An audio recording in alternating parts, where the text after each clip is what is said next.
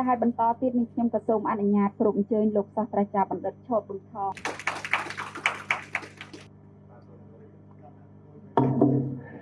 សាស្ត្រាចារ្យទាំងអស់ដែលមានវត្តមាននៅទីនេះជាពិសេសសូមស្វាគមន៍ទៅដល់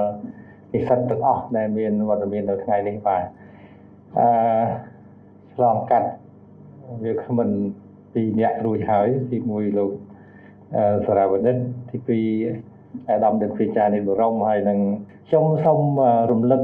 សារបាននៃថ្នាក់របស់យើងបន្តិចរឿងចោះឈ្មោះចោះស្អីហ្នឹងខ្ញុំមិននិយាយទេប៉ុន្តែនិយាយរឿងថ្នាក់ដំបូងថ្ងៃដំបូងលោកសានសារវនិតគាត់ថាបងជួយជ្រើសរើសធានថ្នាក់គណៈកម្មការថ្នាក់ឲ្យខ្ញុំហើយជាទូទៅនៅរាជវិទ្យាហ្នឹងគេរើសតែ3នាក់ឯងធានអនុធាន1ឬក៏2អីចឹងទៅ ដល់ខ្ញុំរើសទៅវាឃើញល្អពេកទី1ចង់ឲ្យបានឲ្យបានបរោះទី2ស្ត្រីទី3ឲ្យមានប្រសង់ឲ្យចូលរួមបាទដល់ពេលរើសទៅអឺលោកឯថាហ្នឹងគេជាប់សម្លេងច្រើនជាងគេបន្ទាប់មកលោកជាគំនេញហើយគង់យូមានបែនចរិយាព្រះអង្គរឿងវិបុលហើយនឹងអាដាមសំហេងបរោះឥឡូវមកទាំងអស់សូមសូមសូមជើញចេញឡើងងើបឈរទាំងអស់គ្នាបាទព្រះអង្គអង្គសូមមុនបាទ បាទ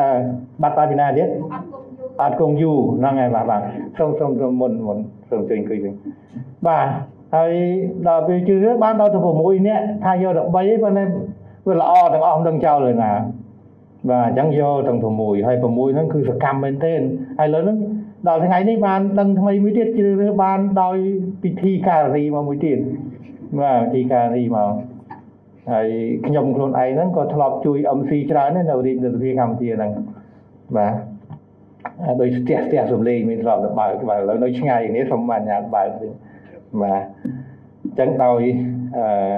លោកស្រីបែនចរិយាហ្នឹងចេះកាន់កម្មវិធីទៀតដែលយើងហៅថាពិធីការនីហ្នឹងសម្លេងគាត់របៀបរៀបចំរបស់គាត់ហ្នឹងល្អមែនទេបាទអាចទទួលយកបាន ហើយសូមបញ្ជាក់ដែរពេលដែលយើងចាប់ផ្ដើមរៀបចំគណៈកម្មការថ្នាក់បានល្អហ្នឹងគឺដំណើរការផ្សេងផ្សេងនៅក្នុងថ្នាក់របស់យើងគឺរលូនហ្មងទំនាក់ទំនងជាមួយគ្រូជាមួយនឹងការិយាសិក្សាជាមួយនឹងគ្នាយើងបាទយើងឃើញល្អមែនទេគាត់ចេះជួយគ្នាគាត់ចេះជួយគ្នាបាទជួយគ្នាមានការលំបាកមានបញ្ហាយ៉ាងណាដើម្បីស្រួលយើងឃើញថាល្អមែនទែនហើយចេះលើកទឹកចិត្តគ្នាទៀត សំបីតែអាដាមសំហេងបរោះដែលថារៀនទៅគាត់ការងារវិស័យគាត់ជាប់ការងារកូវីដអីហ្នឹងច្រើនអីហ្នឹងនៅតែលើកទឹកចិត្តជាផ្សេងលោកជាគំនេញផ្សេងបែនចរិយាហើយនឹងគ្នាគាត់ទៀតនៅនេះមានច្រើនខ្ញុំរៀបរាប់អស់មានសិនគង់ជាសុកអ៊ីមមានលោកមុំមកបណ្ណៈបាទច្រើនណាស់សត្វតនសកម្មតែជួយគ្នាខ្ញុំឃើញវគ្គហ្នឹងជួយហើយខ្ញុំចាប់អារម្មណ៍ប្រសាសន៍អាដាមបណ្ឌិតវិចា នេះបរមគឺថាវគ្គទី6ទៅតែខ្លាំងជាងវគ្គទី5បាទតាមពិតគឺសន្ទុះរបស់យើងគឺគឺរបៀបនឹងមែនបាទយើងឃើញពីមួយជំហានទៅជំហានល្អខ្ញុំចាប់ផ្ដើមចូលសកម្មនៅក្នុងការបណ្ដុះបណ្ដាលហ្នឹងចាប់ពីវគ្គទី3មកចំនួនទី3ចំនួនទី3ទី4ទី5ទី6ខ្ញុំឃើញវាឃើញឡើងចឹងមែនវាឃើញឡើងហើយវគ្គនេះ ខ្ញុំខ្ញុំនិយាយជាបែបក្រៅផ្លូវការច្រើនជាងផ្លូវការវគ្គរបស់យើងនេះអ្វីត្បិតតែយើងរៀនអនឡាញប៉ុន្តែទំនាក់ទំនងចិត្តស្និទ្ធខ្ញុំគិតថាមិនចាញ់អ្នកដែលរៀនផ្ទាល់ទេទី1ហ្នឹងតើតើនឹងទំនាក់ទំនងទី2អឺឃើញខ្ញុំមិនដឹងទេថ្នាក់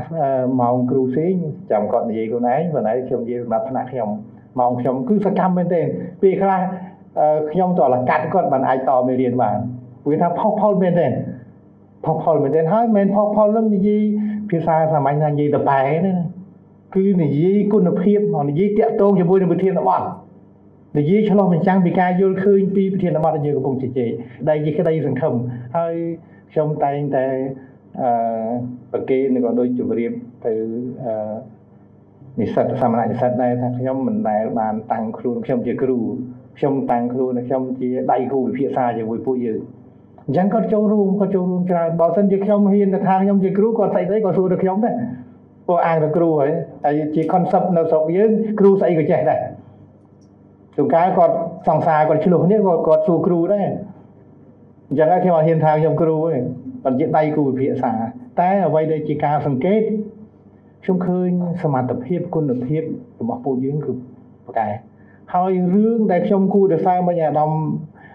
មនុស្សវិចារនេះបរមគាត់លើករឿងសិលធម៌គុណធម៌ហ្នឹងឥឡូវនេះសិស្សសិស្សនៅទាំងបរិញ្ញាឬក៏មធ្យមអីចុះក្រោមចាញ់និស្សិតថ្នាក់បណ្ឌិតយើងសិស្ស master ថ្នាក់បណ្ឌិតយើងខ្ញុំរំភើប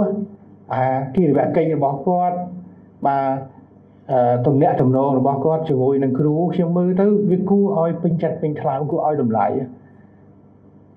ចឹងដោយសារតែចាស់ចាស់គាត់ទទួលបានការអប់រំសិលធម៌ហ្នឹងពីមុតមកច្រើនហើយទោះបីជាមានអរិយធម៌បរទេសមានបច្ចេកវិទ្យាទំនើបឬក៏បច្ចេកវិទ្យាព័ត៌មានអីផ្សេងផ្សេងក៏ដោយប៉ុន្តែគាត់មានរបាំងការពារហ្នឹងគាត់អត់មានតែសម្រាប់ក្មេងៗនៅពេលដែលវាអតុល្យភាពរវាងសម្ភារៈជាមួយនឹងផ្នែកគំនិតផ្នែកសិលធម៌ហ្នឹងវាផ្អៀងទៅនោះ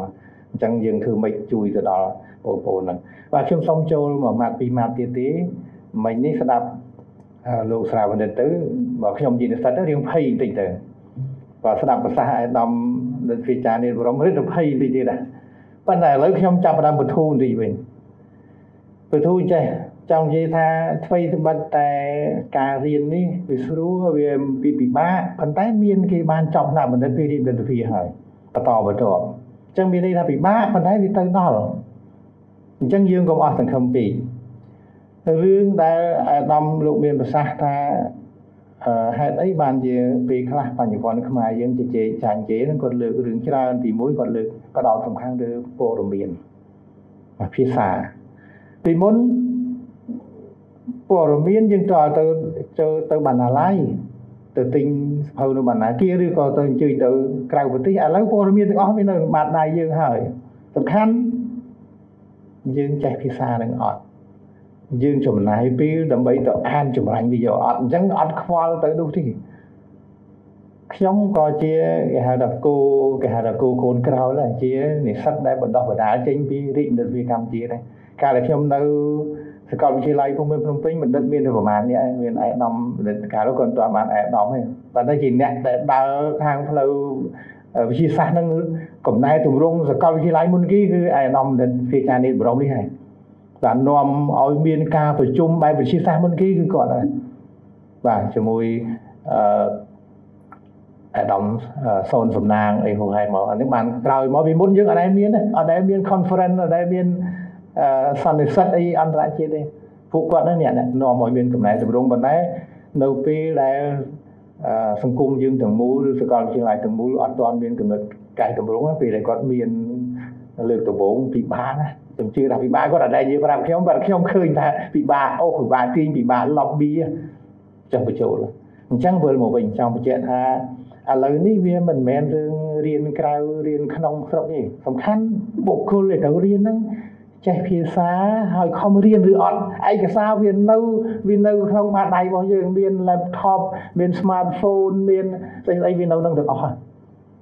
បាទអញ្ចឹងគ្រូគ្រាន់តែដើរតួនាទីជាអ្នកសម្របសម្រួលឲ្យគាត់ទាញយកអាហ្នឹងវិភាគអាហ្នឹងកន្លែងខ្លះដែលគាត់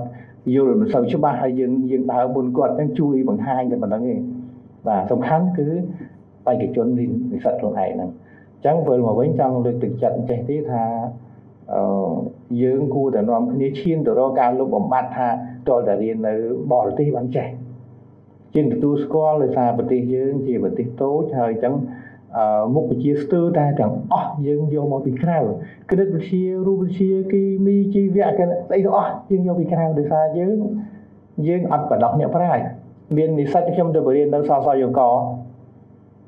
ទៅដល់និស្សិតសួរថាលោកគ្រូហេតុអីបានជានៅស្រុកយើងអត់មានទស្សនវិទូ អត់មានអ្នកប្រាជ្ញខ្ញុំឆ្លើយខ្លីខ្ញុំថាបើចង់បានអ្នកប្រាជ្ញក៏បដោះអ្នកប្រាជ្ញបើចង់បានផ្លែប៉ោមទៅតែដាំប៉ោមបើអត់ដាំអត់មានទេ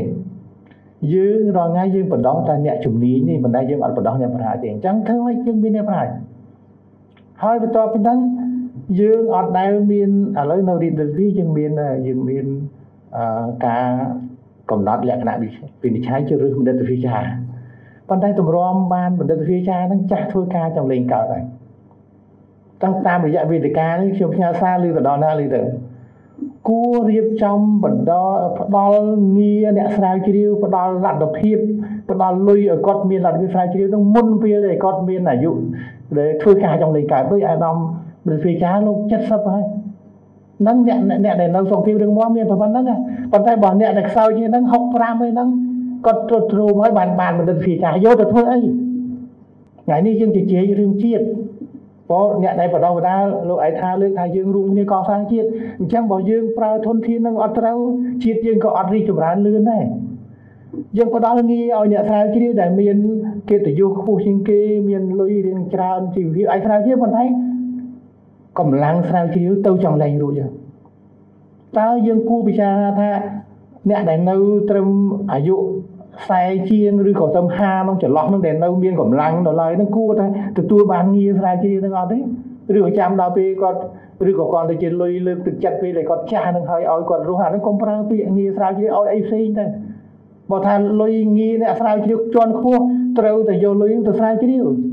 ឥឡូវរៀនវិទ្យាមានវិទ្យាការច្រើនទេប៉ុន្តែ គាត់នៅក្រៅប្រទេសខ្លះគាត់នៅស្ថាប័នផ្សេងខ្លះការងារនៅកន្លែងគាត់ធ្វើទាំងមិនអស់ផងគាត់មានការងារមកជួយស្រាវជ្រាវនៅរៀននៅវិទ្យាអានេះជាបញ្ហាប៉ុន្តែយើងគិតថារឿងខ្លះយើងអឺវាអត់អត់អាចដាច់គ្នាទេវាជាគោលនយោបាយវាជាអឺជាកិត្តិយសប៉ុន្តែគួរក្រៅពីនឹងគួរគួរឲ្យងារបណ្ឌិតវិទ្យាបំរុងឬបណ្ឌិតវិទ្យានឹងទៅដល់អ្នកដែលកំពុងពេញកម្លាំង មានសមត្ថភាពនៅមានឆន្ទៈធ្វើការស្រាវជ្រាវនឹងកើតបាទខ្ញុំមិនមែននិយាយសម្រាប់ខ្លួនខ្ញុំទេខ្ញុំពេញចិត្តណាលោកឯកថាថាយើងធ្វើមិនមែនសម្រាប់តែពេលនេះទេសម្រាប់ជាតិយើងរស់នៅរស់នៅយូរអង្វែងដល់ទៅទៀតយើងស្លាប់ទៅកូនចៅយើងរស់យើងស្លាប់ទៅជាតិយើងរស់មិនមែនយើងស្លាប់ទៅស្អីស្អីយើងយកទៅទាំងអស់អានឹងមិនមែនជា អ្នកដែលស្រឡាញ់ជាតិស្នេហាជាតិទេយើងនិយាយរឿងស្នេហាជាតិខ្ញុំសូមសូមចូលរួមចំណែកទីដោយសារខ្ញុំអ្នក philosophy អញ្ចឹងបើនិយាយរឿងស្នេហាជាតិខ្ញុំមានគំនិតច្រើនក្នុងការនិយាយរឿងស្នេហាជាតិហ្នឹងបាទអញ្ចឹងអឺពេលខ្លះយើងមានសសរយើងមានដំបូលយើងមានដែកអីផ្សេងផ្សេងក៏ដែរប៉ុន្តែបើយើងអត់ចេះយកមកគូផ្គងផ្គុំផ្សំចងវាឲ្យទីជាសាក់ឈើមួយរឿងមាំទេយើងក៏អត់បានផ្ទះមួយដែលរឿងមាំដែរយើងមានធនធានមនុស្ស យើងមានសក្តានុពលជាច្រើនប៉ុន្តែបើយើងអត់ចេះប្រើក៏អត់រីកចម្រើនដែរអញ្ចឹងទេតាមរយៈជួបគ្នាក្រៅទៅការប៉ុន្តែដោយសារជួបសិទ្ធិបញ្ញវន្តហើយនិស្សិតនេះខ្ញុំតែងតែនិយាយលេងជាមួយវគ្គមុនមុនប្រកូនសិស្សនិយាយបើកចំហបន្តិចទៅខ្សឹបដាក់មីក្រូសិស្សចំនួនមុនអញ្ចឹងទេសិស្សតែចំការមានតំណាងរាជមានរដ្ឋលេខាធិការ មានអភិបាលខេត្តអភិបាលរងជាបាទប្រធាននាយកដ្ឋានអគ្គនាយកអីច្រើនណាបរៀនអញ្ចឹងពេលដែលយើងរៀនយើងជជែកគ្នាបានទៅគាត់យកទៅអនុវត្តនៅក្នុងស្ថាប័នរបស់គាត់អញ្ចឹងហើយអ្នកដែលរៀនជាមួយខ្ញុំវគ្គខ្ញុំខ្ញុំវិភាសាច្រើនណាស់ ហើយអត់មានវិភាសានឹងយកទៅចុះកសែតយកទៅវៃបហាអីទេអាដាមសំហេងបរោះយើងជជែកថ្ងៃមុនអាដាមថាจะបានចូលរួមទេមានលោកមុំវណ្ណៈហើយនិងលោកសានសេងណាលោកសានសេងបាទហ្នឹងហើយយើងជជែកគ្នារឿងរឿងការនាំកម្មករទៅក្រៅប្រទេសណាហើយវាមានបញ្ហាដែលយើងដោះយ៉ាងម៉េចលោកឯកថាអីគ្នាយើងមួយចំនួនជជែកតទៅចប់យើងជជែកដើម្បី ចុងក្រោយស្ថាប័នដែលទទួលខុសត្រូវដដែលឡើងទៀតដែលប្រមូលយកព័ត៌មានមិនមែនខ្ញុំគឺខ្ញុំចន្ទទីគ្រូទេបាទដូចជជែកទៅយើងយកទៅដោះស្រាយយើងឃើញថាអូចន្លោះប្រហោងទៅណាបាទអញ្ចឹងមិនតទៅមុខទៀតទេដោយសារយើងពេលខ្លីហើយកម្របានជួបខ្ញុំនៅពេលនេះមុនបញ្ចប់ក៏សូមសម្ដែងនៅអារម្មណ៍ពិតថាយើងតាំងពីជួបគ្នាអត់ដែលបានជួបផ្ទាល់ហើយថ្ងៃនេះបានជួបផ្ទាល់ពិតជាសប្បាយរីករាយមែនទែនបាទទាំង គណៈកម្មការវគ្គបាទទាំងនិស្សិតទាំងអស់ដែលមកទីនេះទោះបីយើងមិនថាខ្លួនយើងតំណាងក៏ដោយប៉ុន្តែយើងតំណាងឲ្យវគ្គទី6ហើយចំនួនទី6វគ្គទី1ទាំងអស់គ្នាហើយដែលសិតតែជាធនធានមនុស្សល្អដែលនឹងคลายទៅជាអ្នកដែលគេហៅថាអ្នកដែលគ្រប់គ្រងស្ថាប័នរបស់យើងដែលយើងគ្រប់គ្រងស្រាប់ហើយហ្នឹង បាទគ្រប់គ្រងខ្លួនឯងគ្រប់គ្រងគ្រួសារគ្រប់គ្រងស្ថាប័នដែលនឹងរួមគ្នាកសាងជាតិយើងឲ្យយូរវែងមិនមែនសម្រាប់តែសម័យកាលចំនួនយើងទេប៉ុន្តែសម្រាប់តចំនួនតទៅទៀតបាទហើយជាចុងក្រោយក៏សូមប្រគេនពរបាទសូមជូនពរដល់និស្សិតសមណៈនិស្សិតលោកសាស្ត្រាចារ្យទាំងអស់មានអាយុ យឺនយូរបាទដល់ចាស់អញ្ចឹងគេជូនពរស្អីមិនសុបាយទេបាទរឿងអាយុយឺនយូរហ្នឹងគឺសុបាយហើយនៅបាទមួយឆ្នាំពីរឆ្នាំទៀត4 10ឆ្នាំទៀតហើយជាពិសេសបច្ចុប្បន្នភាពហ្នឹងឲ្យឆ្លងផុតបាទឬក៏ជិះផុតពីការឆ្លងរីករាលដាលនៃ COVID-19 ហើយនឹងជោគជ័យគ្រប់ភារកិច្ចបាទសូមអរគុណសូមអរគុណសូមថ្លែង